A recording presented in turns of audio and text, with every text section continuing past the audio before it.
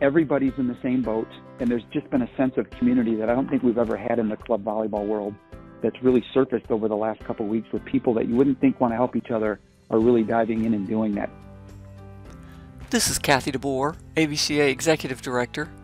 This educational tip of the week is focused on the business decisions facing volleyball clubs during the COVID 19 pandemic and the subsequent shutdown of our junior volleyball season. I'm sharing an interview with Steve Sack, co owner of Michigan Elite Volleyball Academy, in which he discusses the provisions in the recently passed Coronavirus Aid, Relief, and Economic Security, or CARES Act. He also advises club directors where they can go for resources and help. I had an engineering degree out of Michigan State, spent some time in, in computer consulting. Um, I've coached my kids in soccer and basketball and baseball but played a lot of volleyball and really developed the passion for the sport. Um, and as the opportunity to step into Michigan Elite jumped in, it was a sport I already loved, and we were able to come in more so to run the business side uh, of the organization and really, you know, partner with our coaching staff um, and the administrative staff to let them focus more on what's going on on the court and really focus on the kids. Uh, we have six locations uh, where we lease two of our buildings and then rent space uh, from four other locations. Uh, we have about 145 teams. The first issue Steve addresses involves dealing with staff. We're in a position that none of us expected to be in, you know, even a month or two ago. And there's an endless number of decisions club directors are, are making right now. Everybody's club staff, basically from the coaching along with the administrative side, is the lifeblood of our organization. So there are some things that we obviously have to look at. How can we be supportive of our staff, primarily and initially on the non-volleyball side of things, from a human being to human being perspective? Then look at how can we, how can the staff help us support our players? Trying to keep some normalcy in the kids' lives and opening up the conversation with them about volleyball and non-volleyball related things, as well as try to open up some training opportunities. Lastly, is the financial side. And, and I think every club director, if they were given the choice, would love to carry their staff through all of this financially. But there are some hard decisions that have to be made in terms of what they're capable of doing, both short term and long term. And we're trying to stay focused initially on the short term because it's changing every day.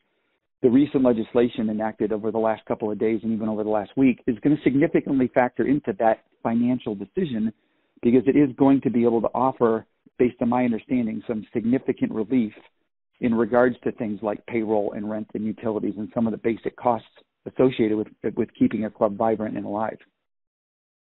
The, the relief that's there is actually on several different levels. And I'm not a SBA expert or a banker or an accountant or a tax advisor, but from the information I've been able to glean from this is that there are going to be several new and expanded aspects to unemployment which can obviously compensate individuals. If a club does go down the path of saying, hey, we have to do a short term layoff or a furlough, it's going to allow for a longer application window. The, there's going to be an extended coverage period. Typically, I think it's 13 and it's gone to 26 weeks. And for the first time that I'm aware of, it will be extending coverage to independent contractors, which many club clubs use in, within their coaching staff. It just came out yesterday with the whole payroll and paycheck protection program it's really incentivizing small businesses to maintain staff.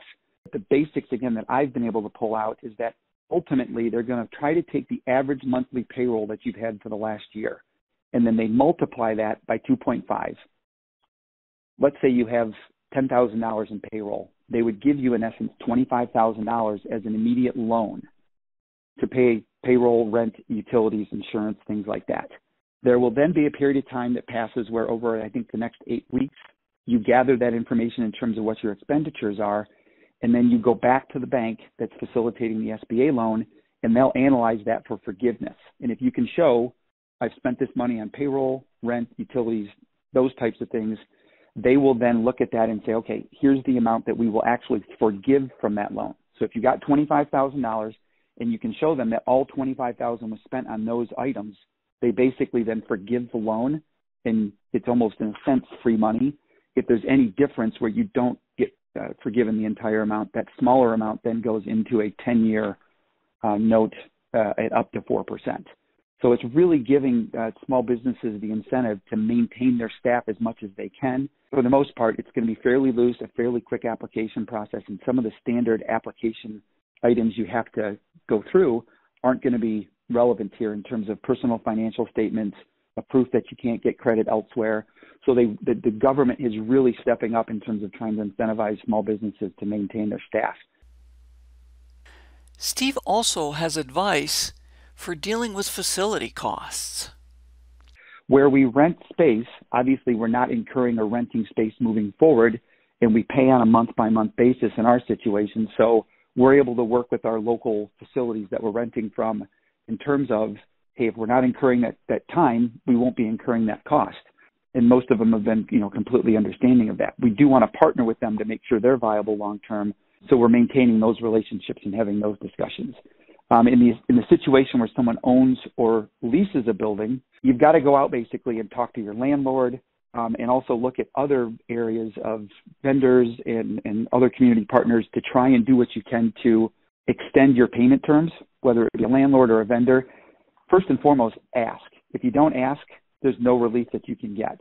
As far as a mortgage goes, there are some things that, depending on how your mortgage is structured, that immediately there's been indication that banks are going to give you anywhere from 90 to 100 days deferral of your loan. In essence, they'll take that period of time and put it at the end of the loan. So you might get a three month deferral on, on payments there. Um, and the SBA specifically has already stated that they're going to give a six month deferral uh, with no principal or interest payments and put that on the back end. So again, that's that can be a pretty significant relief from the economic uh, distress uh, on the payment side. Because in a lot of cases, there's absolutely nothing we can do with these buildings. But at the same time, I do encourage people, and we're trying to look at it and say, is there possibly anything we can do? We've actually had conversations with the American Red Cross, given the shortage of blood, um, that they are desperate for facilities because the lockdown on schools has limited somewhat the blood drive that they've been able to have. So we're getting some site visits this week where they are going to stop by, look at it, and see if over the next two to three weeks we can facilitate some sort of blood drive in both of our facilities that are local here to Detroit. Finally, Steve gives suggestions for gaining information. From a financial perspective, talk to everyone that you know and trust in terms of your banker because they're going to be the people that help you kind of administer or, or apply for these small business loans.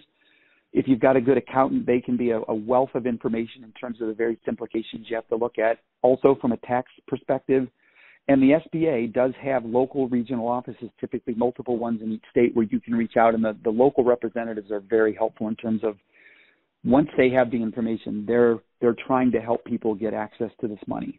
Secondly, one of the things that I've been overly impressed with throughout this whole ordeal is how together the volleyball and even the youth sports industry in general has come together. So if there's relationships you have with other club directors, if you have both locally and regionally or, or nationally, reach out to them. I mean, the webinars I've been on, there's been small group discussions.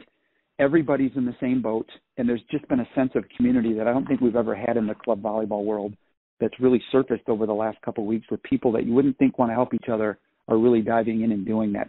We're all trying to save the solve problem. There's a lot of unique ways to do it. Um, and then lastly, like I mentioned, the, the webinars that are out there.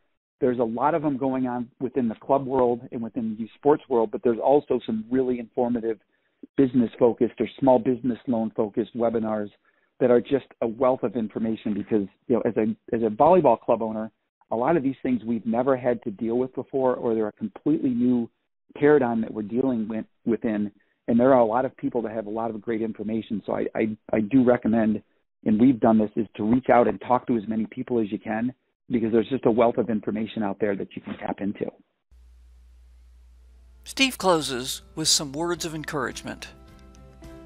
We're all kind of riding this wave together. Everyone's going to have certain circumstances in their life so we want to try to be as supportive as possible across the board and, and having patience as well because we are all dealing with an ever changing, almost day by day, hour by hour, minute by minute landscape that's changing under our feet as we go. And for me, it's been heartwarming to see that the camaraderie that's happened within the club volleyball world